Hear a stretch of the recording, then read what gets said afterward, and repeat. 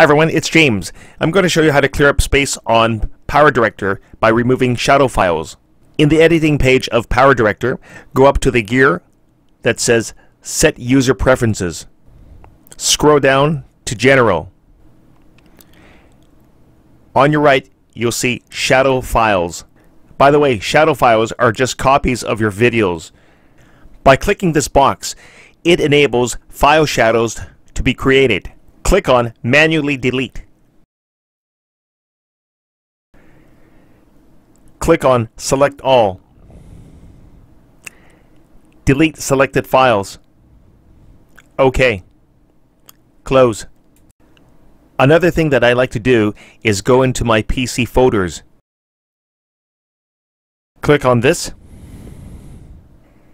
Click on the C drive. Scroll down to Users and click that.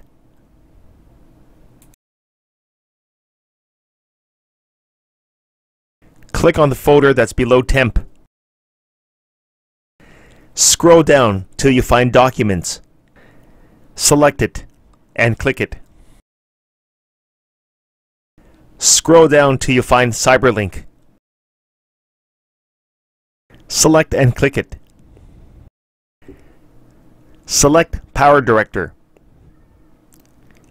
Select your version. 17. There it is, shadow files. You can delete it manually or you can do it all at once. Go up to the top and select delete. Close out and go to your recycle bin. Click it now you want to empty recycle bin. Click that and choose OK. And there you go. All clean. Thanks for watching guys. Like and subscribe to my channel. Bye.